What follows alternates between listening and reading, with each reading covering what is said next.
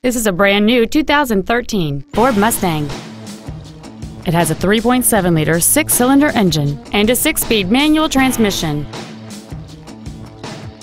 Its top features and packages include a multi-link rear suspension, a performance package, a low tire pressure indicator, high-intensity discharge headlights, a premium audio system, commercial-free satellite radio, and traction control and stability control systems.